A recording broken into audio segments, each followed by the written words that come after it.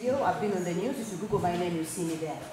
And that was not by accident, so I'll just tell you a quick story. So I teach about communicable diseases at UWA, and when COVID started, I went and made sure I read up all the paperwork and all that stuff to produce lectures. So then someone gave me, a, asked me to do a podcast, and then I did a podcast talk about COVID, and then UWA Media picked it up and said, oh, Barbara can talk about COVID. I got called Channel 7, ABC, all these people were calling me. And what I was doing late at night when other people are drinking and enjoying themselves, I'm studying. So though I have my, my master's, my undergraduate degree and my PhD, I'm still studying all the time. So the only reason why you see me on TV is because I do extra study. I'm not extra smart, more smarter than my other lecturers in my cohort or what, but I do extra study. You know what I'm saying? So one thing we need to push ourselves, and as Dr. said earlier on, he has so many degrees. How many degrees and and a whole line of them. Because you just have to keep studying. And this is one thing about formal education. It never stops. It never stops. This information is always changing. And even me, the reason why I had to keep studying was because one minute you have one variant, then like Omicron, then Delta. What? I mean, I had, I was constantly scanning information. I mean, people did abuse me on Facebook, but that is another matter. Someone said I should be deported back to Africa. Anyway. Sorry for that. Anyhow, so the basic thing is formal education never stops. So anyone in the room, if you think it has stopped, I mean, sorry, Dr. Dominic, I did not um, um, acknowledge you. Constantly study. You know what I'm saying? Because it never stops. So even those who are highly qualified, you have to keep getting more qualification. Go for management courses. I go for you know, other things, as you said, COVID helped us do such stuff on, online. So if we really want to get up to the echelons of power, we really have to arm ourselves with knowledge. Nobody wants a quack on TV talking about COVID. You know what I'm saying? Because they will shoot it as Barbara said, what? Mm. So I have to make sure that when I open my mouth, I know what I'm talking about. If I don't know something, someone called me that they said, Barbara, can you comment on this? I said, I'm not coming. Because I don't want them to say, black woman said, what? if I don't know what I'm talking about, I won't go on TV. But if I've studied hard, I'll get up there and speak. Mm. So if you want to get up into the echelons, that's what it is. You know what I'm saying? We are black. We can't bleach our skin, some do, but we can't bleach out the blackness. You know what I'm saying? Ultimately, we have to arm ourselves with knowledge and education if we want to be out there. So if you want to be a CEO of something, I mean, you can open, of course, your own company, but if you want to get into these big gun companies, we have to arm, arm ourselves with MBAs, be smart, network, learn the accent. I don't know what you need to do, but do it. okay. Um, Oh, you want me to add something to it? Yeah. Okay, all right. Uh, in terms of how do you get up there and how do we motivate people to do it, I would tackle it from um, different angles. I would first acknowledge OAC what you are doing with the annual awards uh, to Africans who stand out in various um, endeavors. That's very encouraging. Um, it was one of those awards that got me into some places um, at the time, I was working for UWA with the School of Pharmacy, uh, working with a team that we were writing a dictionary for the World Health Organization on breastfeeding. And I am not a scientist. But somehow, I convinced the panel that uh, convinced the panel that I was able to contribute to it. I, I haven't studied lactation, I haven't studied anything breastfeeding, but I told them they should give me two weeks. Um, I got the job and I enjoyed myself writing up dictionary for breastfeeding. How? Personal studies. It never stops. Um, when, and I'm, I'm going to say it again, I've taught age care when I haven't done age care before. Um, I went, I was so desperate for a job, they said they needed an age care teacher. I put up my hand for it. you see, if you know how to communicate or present, even when you don't have it, people see your candor, your honesty. They see the transferability of the skill you've got. I said, if you give me this, I can do it. They said, okay, let's try it. I went in there. Um, they said, when can you start? I said, give me one month. Um, I, the one man, they, they thought I was sorting my accommodation. I was actually preparing. I took up all the textbooks and I was learning. I was studying. What is a hoist? I haven't seen one before.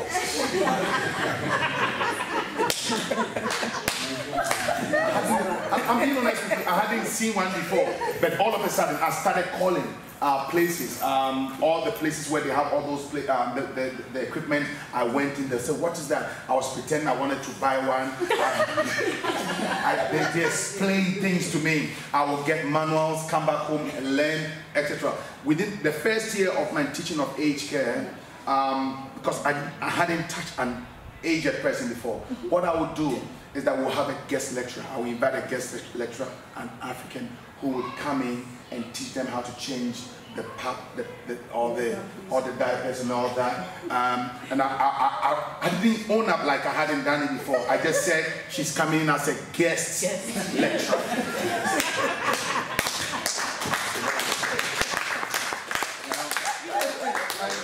just to put everything in context, the students liked what I did, and the school liked it so much so that when I told them I had one year to finish my PhD, so I told them I was just cutting off everything, I wanted to focus on the PhD, they said no, we're not letting you go.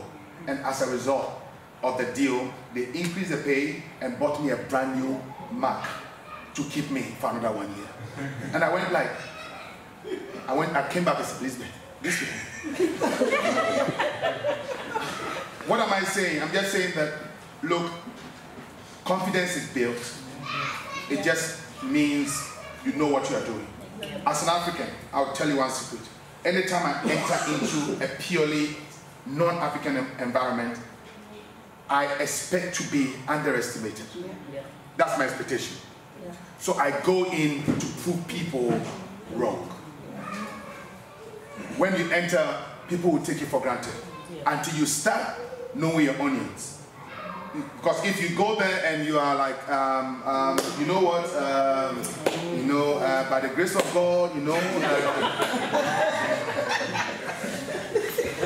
and we blame everything on just faith and all that. You, you, you need to be competent as uh, you, you need to know your onions. You need, you need to know what you're talking about. And then be able to work. I, I, I did consultancy for an organization that she was work, working for. And they had a very interesting CEO um, who reasoned wonderfully. And a time came, she was just, she, she thought that I needed a job. I went up to her one day and said, thank you, I'm walking away. I'm not doing this job anymore. She was shocked because she didn't expect that somebody like me will come to her and say, if this is not done, I'm leaving. Why? I always say to people, add value to yourself. Yeah, exactly. Yeah, Thank you.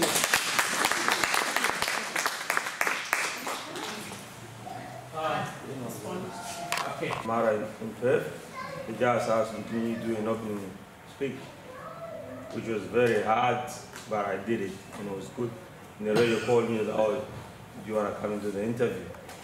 But the interview was a little bit political, because they wanted me to talk about mining in Africa, and I'm a mining engineer, so I didn't say much. Anyway, let me go to the business. Thank you very much, OAC, for organizing this, and thank you for the panelists.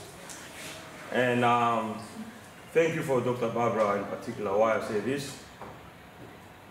I have a question, but I want to say something briefly before, so that my question makes sense. I was at one, I'm not going to name universities and, and organizations. It's an organization X. I was studying diploma of laboratory techniques. And back in high school, I was among the top five students. So I know I was not dumb.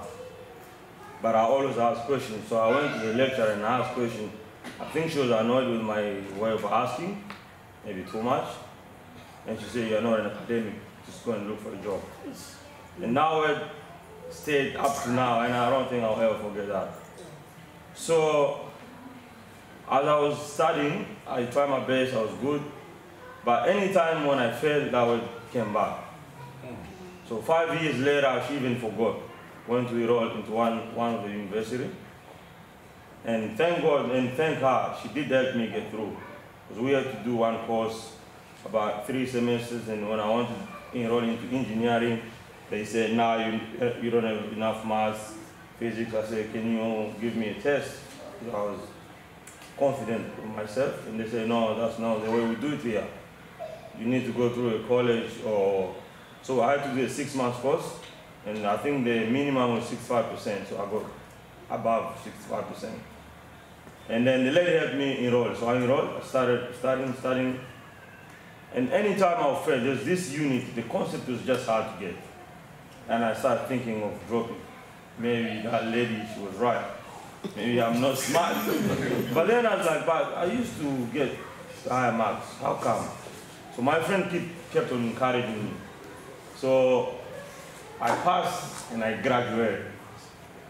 And I was planning to say to go and see the lecturer and say, look, never say these things to the students. You thought I couldn't graduate. And my friend said, no, don't do that. Just let go. Just keep, keep doing what you're doing.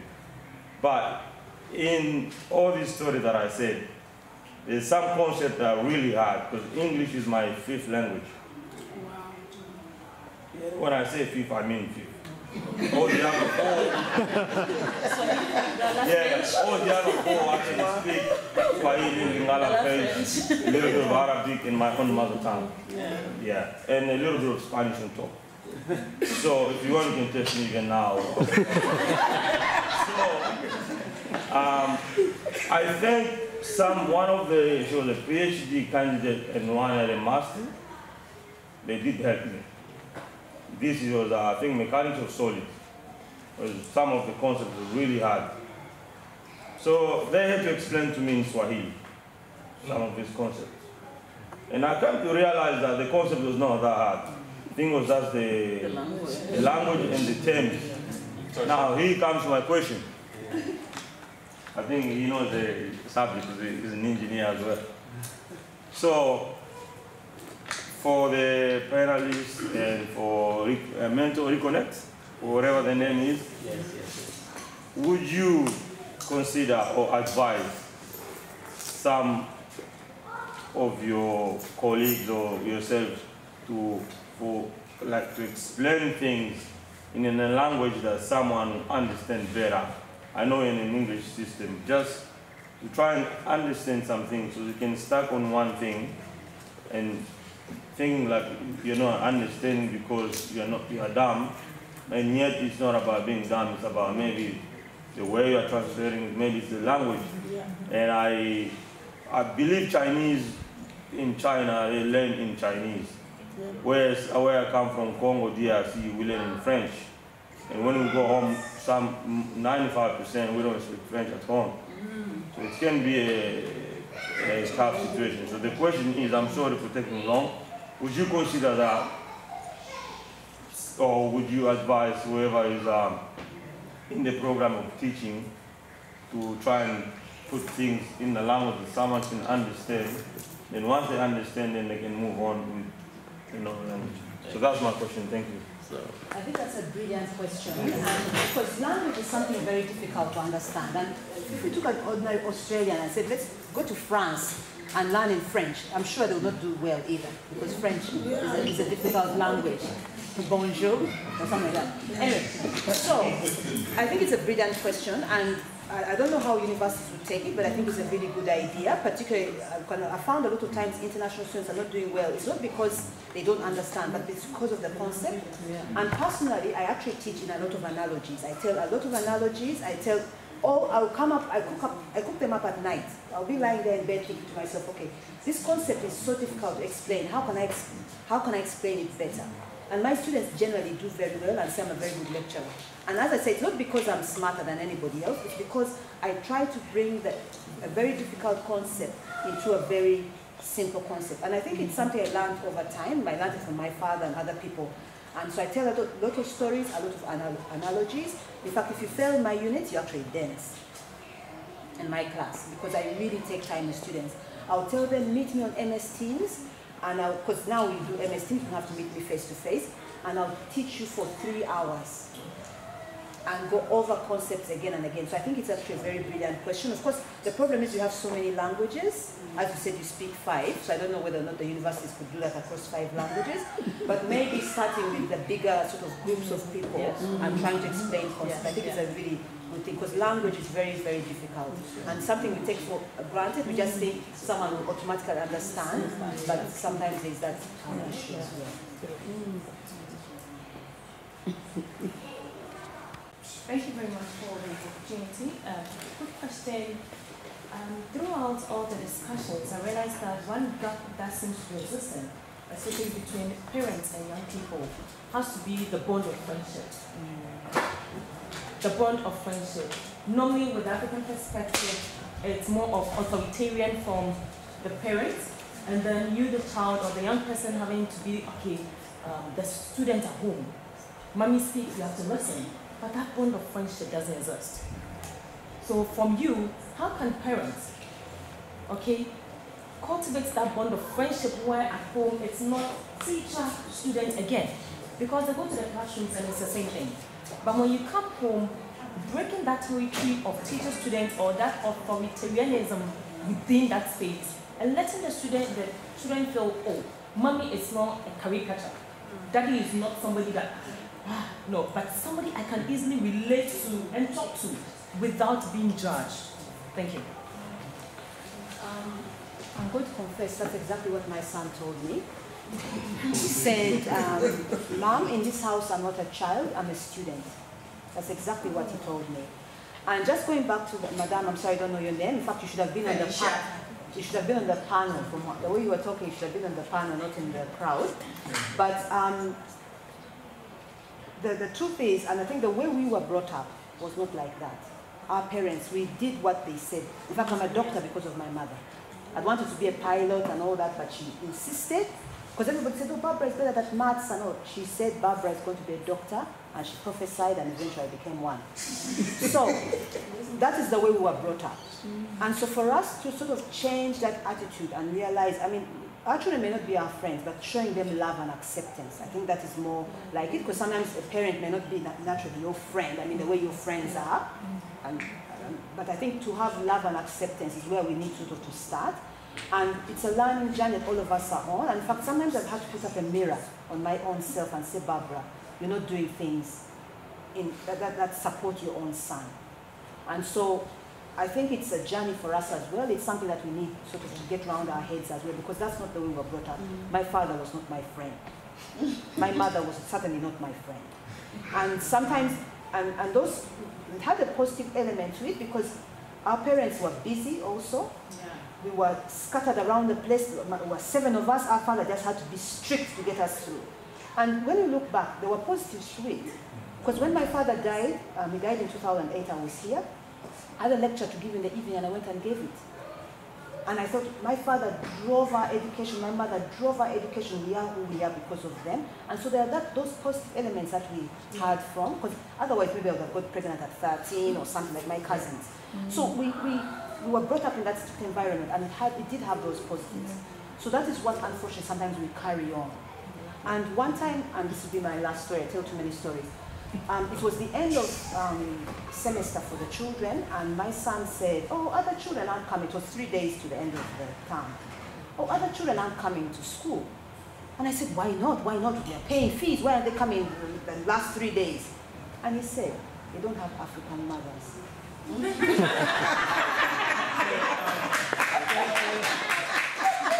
Now I think we, we uh, because of time factor, we had four people are coming. Please, we have this young man for a long time. Just the last one, please. Okay. Let's, just the but last one. That gentleman, can I add something? Yeah. To also close the gap between a parent and a child parents, we need to educate ourselves. Yeah. Where are we now? Mm. We need to change. Mm. And part of changing, thanks Dr. David for being here. Let's keep our fingers crossed. If OAC manage to get some money, there's the training that we run. It's really good as a mom to take also time off to go and attend those training. Educate yourself. We are in Australia. We are not in Africa the way you were brought up is different. So your kids, as we're growing up with aunties, uncles, and everyone, here, whom do they have around them? It's only friends. So we have to be available and change our styles. Thank you.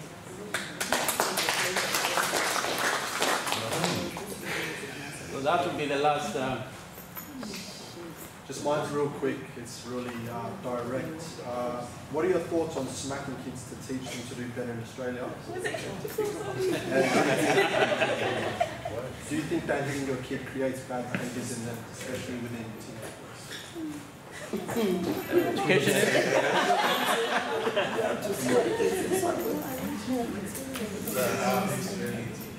Firstly, it's against the law here.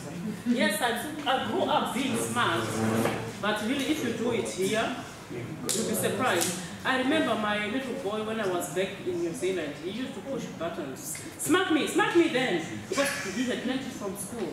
He was eight by then. I'll call him triple zero. Smack me, smack. He will push and push. And if I happen to do it, we had another parent who was pushed to that limit, and they end up doing it. Unfortunately, I was part of the psychologist who was working with that parent. It, it, it's embarrassing. So here, to answer in a short form, we don't smack, we talk. And when we talk, it's what we call on negotiations. But you take a parent's position or a mentor's position, then talk some sense into your kid. And if they can't hear you, consult with other people. That's why we, mentor me is there. It takes a village to raise a child. You are not on your own. Let them talk to another parent and get that from them. Thank you. I think, the problem is, I don't want to call it a problem, I mean, as I said, many of us were beaten at both at school and home. So if you didn't get 100%, if you got 50, you got 15 canes for not getting 100. So I mean, beating was a normal thing. And also, uh, generally it's domestic violence. Men beat women, women beat children and all. men beat each other as well. But I think it comes, it comes down to the inability to use our words. And I think that's the, the thing. We, we have never learned how to use our words yes. and to speak. So it's just easier to hit. Yes. And when you hit, what you're looking for is manipulation and coercion yeah. instead of negotiation. And that is something that we have never learned maybe as many Africans and also African parents. So if we learn to use our words and negotiate, because sometimes the child may actually be saying something sensible yeah. and have that discussion. Okay, and then eventually if you say, okay, yes, I've said you have to go to school, you've had a discussion around it. So I think it's about learning how, and we, many times, many of us, even me, I don't know how to use my words. If something upsets me, I go quiet. And sometimes it annoys people because they're like, why don't you speak up? Yes. But it's just because I was never taught how to use my words. And when I tried to use my words, I was spanked. Yeah. So smacking is, uh, is a, as I said, uh, indication we don't know how to use our words, and it is actual violence. It is violating someone else's body because you're trying to hit them and you're trying to hit them to prevent them. And parents may think it's all right, but it's not all right. The children have rights, so we must think how best to, to get them on side because it's all about talking.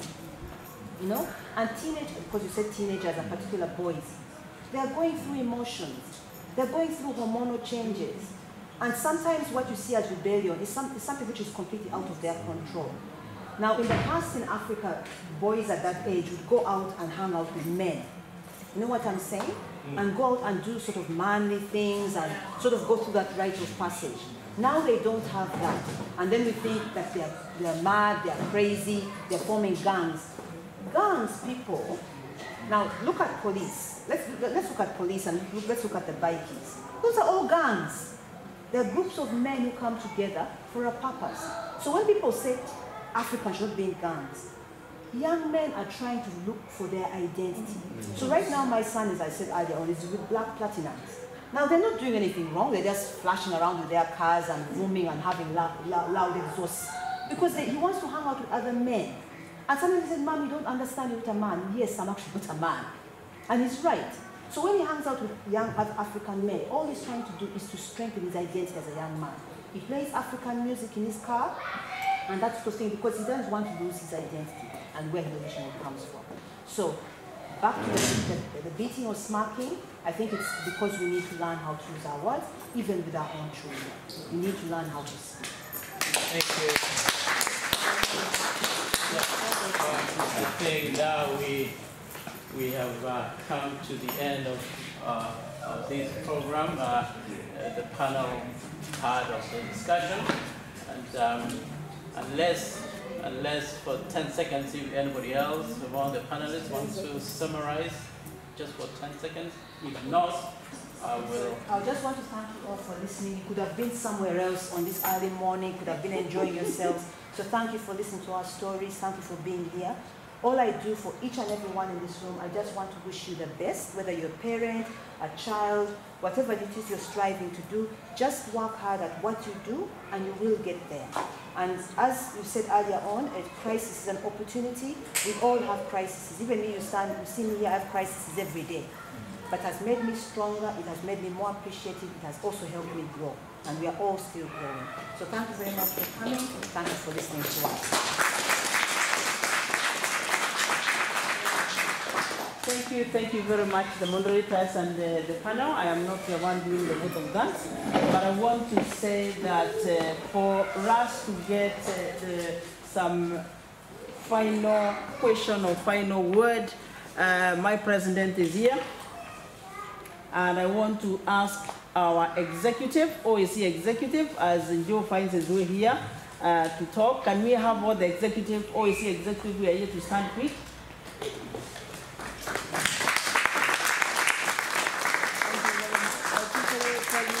This is Njoku Wasama, who is the president. I'm the vice, uh, dealing with finance and administration.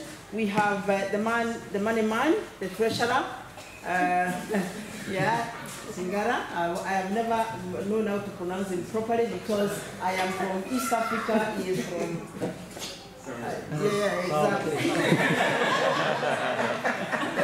we have the we have the person who is behind the research department. Dr. Dominic. Dr. Dominic is a, a lecturer at the UWA, and we have our youth director, um, uh, Lassine, and Lassine has also become our full-time administrator in OAC, so we are very happy to have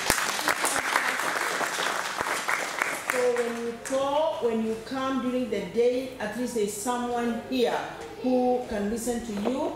Lassine has got a wife.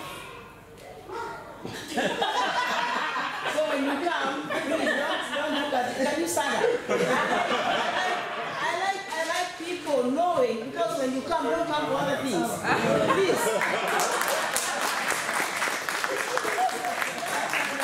It's very, it's very, you know, you look at a, a boy like that who is so young, and you be coming for other oh no, he's already taken. He's already taken. He's already taken. And before, before uh, Joe's, oh, sorry. I, was standing back.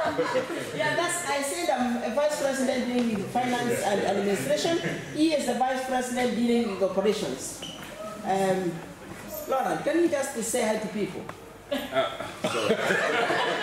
I'm gonna I wasn't Uh, seeing you, sorry. Yeah, I didn't mean to speak. Well, thanks again for sacrificing your um, afternoon to come. Thank you. Thank you very much. And uh, as uh, the president uh, talks, I want all the mentally reconnect release to stand up. Who are here? Including my dad. Yeah, that's right, yeah. Because I wanted you people to see our current students, the ones who are dealing with the Mental Media Connect. There are few who could not make it today. And, uh, you know, yeah, thank you very much. After this, we are going to ask one of you randomly to, to pass a vote of thanks. So each of you should be prepared. I'll pick randomly. You can have your president. seat. Tony, don't forget Tony. Thank you. Anthony. Uh, uh, we got our volunteers here. Tony Barton, who chairs the voluntary committee. Sarah, who has been our, and uh, also Madam Director, the women director is here. I want to say thank you to all of you for coming. Uh, thank you to all our guests, our panel. Thank you very much.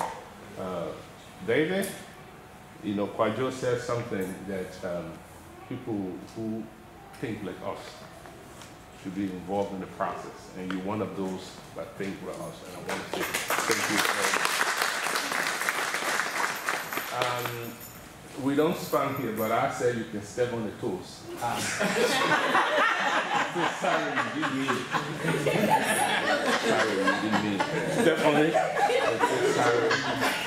And. Uh, it's been a very uh, fruitful morning, and I want to recommend that we have these discussions on a very regular basis. Uh, but I just want to be brief. We know that there are issues here. There are systemic issues that we are faced with. Uh, one of the panel talked about advocacy. I have done this for the last 14 years that, in fact, people have seen me toxic. Some ministers and government officials don't like me. Some directors and departments don't like me, but I don't care because I know what I stand for, because I have looked through the glass and I've seen those issues. There are discussions that we initiated 12 years ago that money was invested into to make sure that by this time we should be talking something different. But we are still talking the same thing today.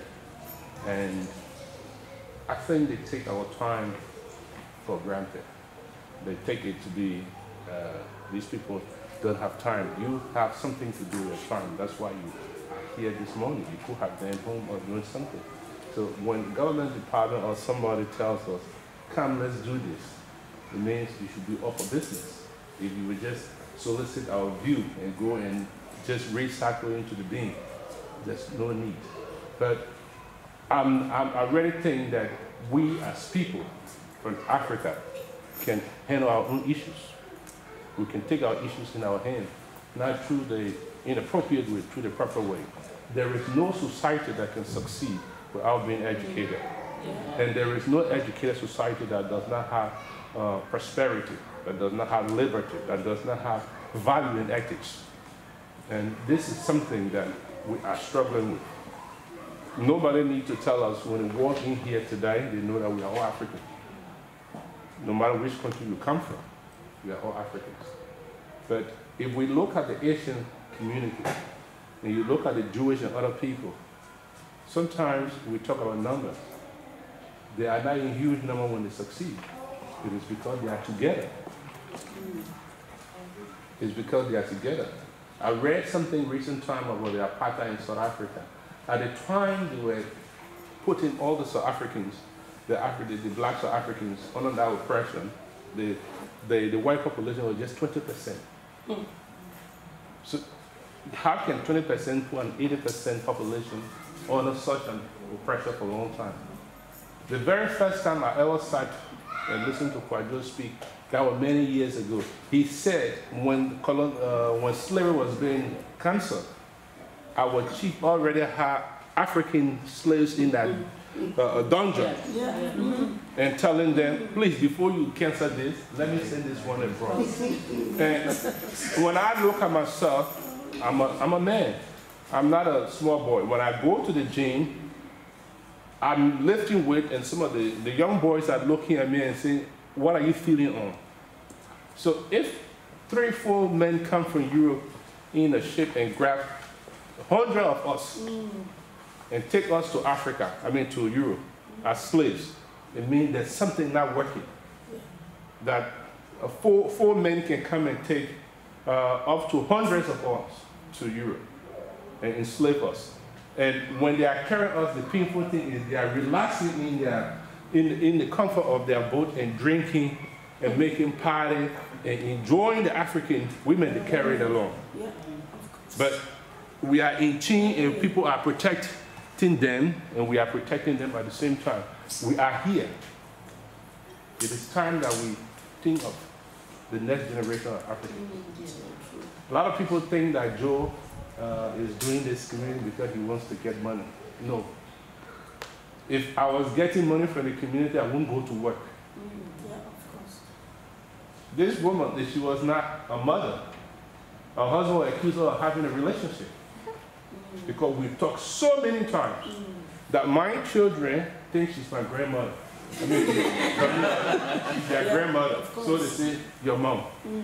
When they say, oh, that's my mom. So we all here got responsibility. But the reason we come to do the community is not because of money. There's no money here. Because if there were money here, then that Kwaju would not be here. They got charged. But we are doing this to see the next generation the panel touched a lot of great things here. If we don't put our next generation to that place to manage what we are planting today, we can build all the best houses here. They will be in prison. Yeah. Mm-hmm. Mm-hmm. Exactly. If any of you people going to America, mm-hmm. go and see the prisons in America. There's more black Africans in prison. So, what can we do as people? We will have our challenges and our individual differences. What can we do to come together and support people like us who are brave and have no fear how the minister feels about us when we talk to them because that's what we were called for. There was one meeting we had recently with somebody from the Department of State. Why? We prepared a comprehensive business plan and we told them there are issues in the educational system. And we are mentoring children across the schools. Barnabas is an elder. And he takes his time and go to the school. Mount Felicia here, Tony, all these people who go to the school there, they leave their daily work. They come and we prepare a business plan and tell them, when you support us to make our children good, we are making you and your children to be comfortable and safe. They didn't listen to it. Last week, I got a call from Arimakoma. There's a student who has issues. She doesn't want to talk to the parents, she doesn't want to talk to the school. They want to talk to Auntie Salam. Because Auntie Salam now works full time. She cannot go. Every week. Before, before that, there's a call from Italy. A parent there feels like the students are being discriminated. And the school is playing low profile.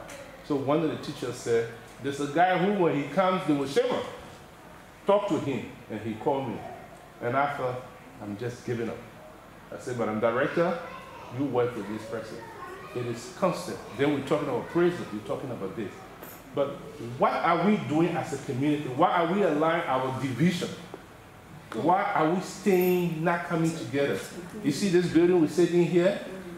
This building was built for 10 years. It's supposed to be for the African community. If we want for our non-Africans to respect us, when they walk through, it should feel class. You don't come to this kind of makeshift thing, then you say, these people are community, I should respect them. They will never respect us. But when we tell people, let's make this building to be something extra, that when the city of Stirling, who gives us this building, see this place, they will value us. Everybody will put their money in their pocket. But we can go to clubs and spend over $100. We are not investing in our children. Our children are getting very, very well represented in the prison. And those of you men and women who feel that call that join us to do the Mentoring Reconnect, I want to say thank you. Because it takes a village to raise a child. But we also need to help these children to make it happen. Everybody needs a champion. Thank you very much. We hope we can have this uh, forum on a regular basis. Uh, David, Kwajo, Wilson, I need some money from you guys. That studio room out there, please go and see it. We want to invest in our studio so that you can come here at your leisure and do podcasts. We can put on TikTok, we can put on LinkedIn. So those that are able to come here can hear some of these things. They can know where we need the help. Thank you very much. Yes. Um, our church has built a world-class studio and offering service. Yes. Thank you, guys. So thank you, guys. Thank you very much. Uh, I said that uh, we're going to get uh, um, a random person. As can you put a photo of dance in one minute? Because we are exactly at one. We finish on time. So wherever you are, can you stand up and uh, pass a photo of dance on behalf of your colleagues? Thank you. Good afternoon, everyone. Um, my name is Judy, and who is here, Yeah.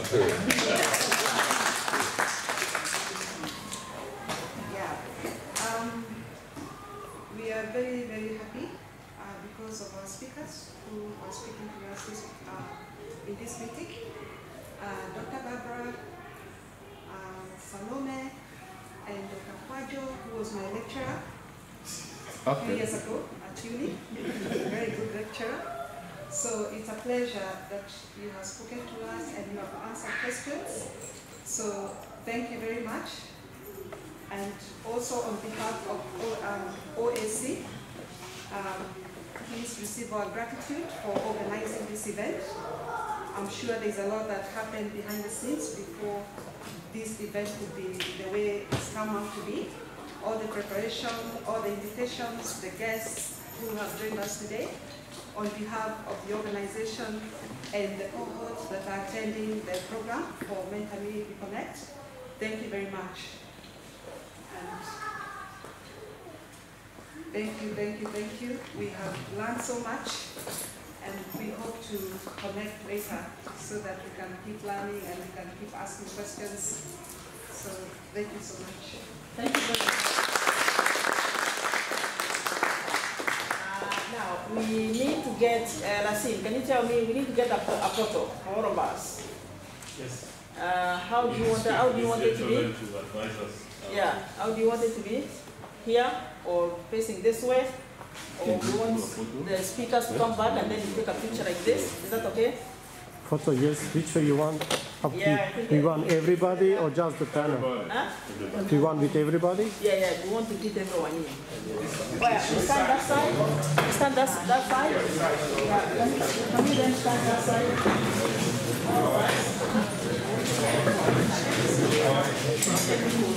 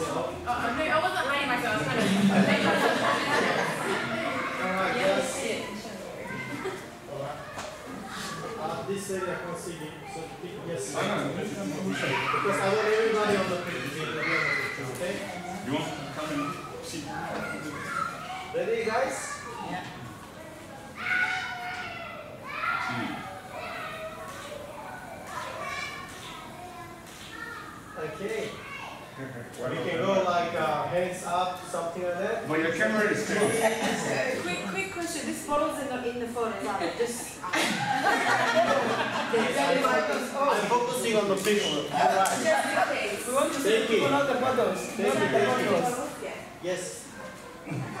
Alright, beautiful. Okay, smile everyone, cheese. We say Africa. Thank you. Uh, can you see, uh, you have to excuse me, can everyone else go and meet the mentor meeting connects uh, participants and the, the, the executive and the keynote speaker? Can I please make an announcement? If you own this uh, four-wheel drive, the plate number is Rockwell. Are you here? Can you first take the bottom? Let, let, let's first go to Rockwell. And just, there's a, a, some snacks there for people, please.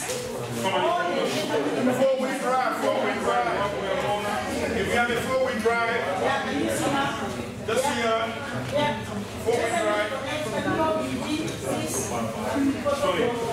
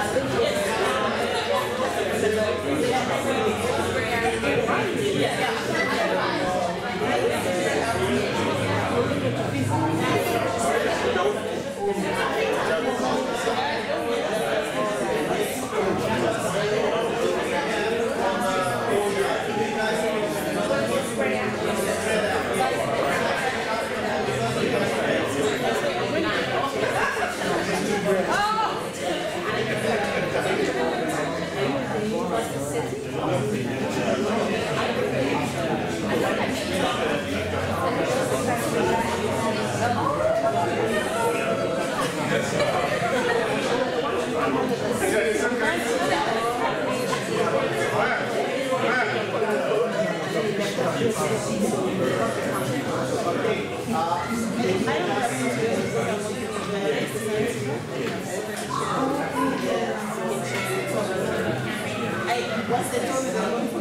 Ah.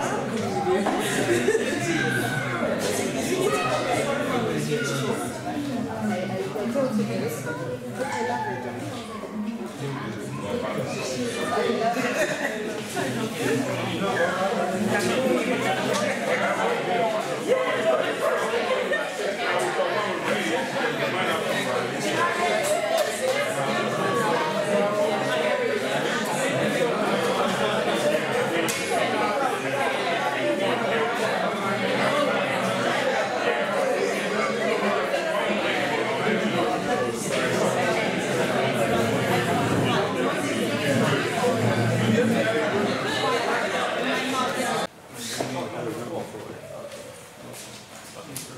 What's the topic? Yeah. Thank you very much. Uh, I want to stand on existing protocols and to say thank you to the panelists and everybody who has come to benefit from this. I'm a mentor, but because I have so much on my plate, I hardly get time to do this. I'm coming from another event. But as I walked in, this gentleman, what's your name? Ali. Ali, I love what he was talking about. While I'm a mother of men, I have two young men. And when he was talking about how do you deal with crisis, it's an interesting thing for me. First and foremost, we need to uh, infuse into our children that crisis is good. Crisis is good.